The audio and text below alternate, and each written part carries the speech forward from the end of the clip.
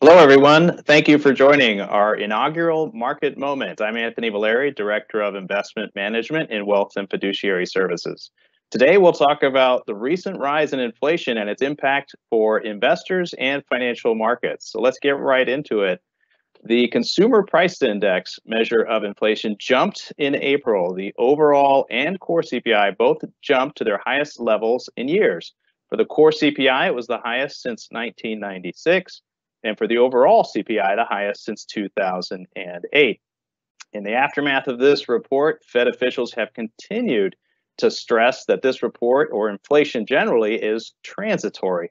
And the initial data would suggest that that's true less than 10% of the CPI index was responsible for about half of the gains in the increase in April. But with more and more companies announcing wage increases, it's very likely that this inflation increase sticks with us for longer than even the Fed anticipates. So, why is that a problem for investors or a potential challenge? Well, higher inflation is generally associated with lower equity valuations. And if you go back through history, specifically back to 1950 and take it to through today, the PE ratio, one of the more common measures of valuations, is lower for a given level of inflation. So as you move to the right on this chart, the higher the inflation rate, the lower all else equal will the PE ratio has been for the S&P 500. That's particularly relevant today when valuations are relevant across the board in the equity market.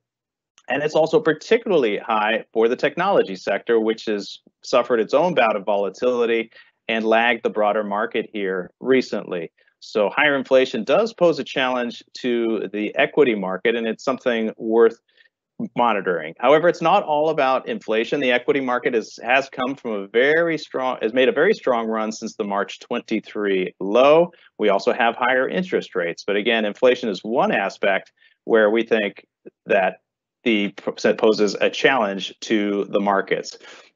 If we look to what does this mean historically, it's not something we'd avoid eh, eh, investing in equities in the past. In fact, stocks have actually managed gains during periods of rising inflation in the past. The consumer price index has had six bouts over the last 45 years where it has trended higher over a multi-year period. You can see those listed here, and the average change in the CPI from low to high has been anywhere from 2.4% to 6%.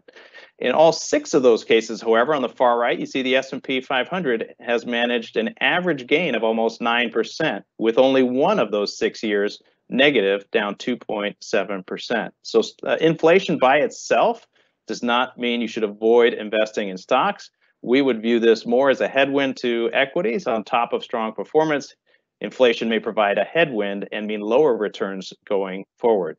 But as challenging as this has been for, or potentially challenging for stocks, it is a bigger threat for bonds. One of the primary valuation metrics for bonds is the inflation adjusted yield of a bond. In this case, we're looking at the real or inflation adjusted yield of the 10 year treasury, and it has fallen back down to some of it, its lowest real yield since March 20 since March of 2020 right at the peak of the pandemic. So the valuation outlook for bonds very negative based on this data Again, we don't expect a repeat of the first quarter in the bond market here in Q2 or beyond, but it does pose a challenge. And we still think that stocks are a much better bet for investors over the longer term versus bonds. So we wouldn't change our outlook here.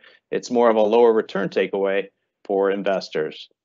Thank you for joining our inaugural market moment. I'm Anthony Valeri. We'll look forward to speaking to you again soon.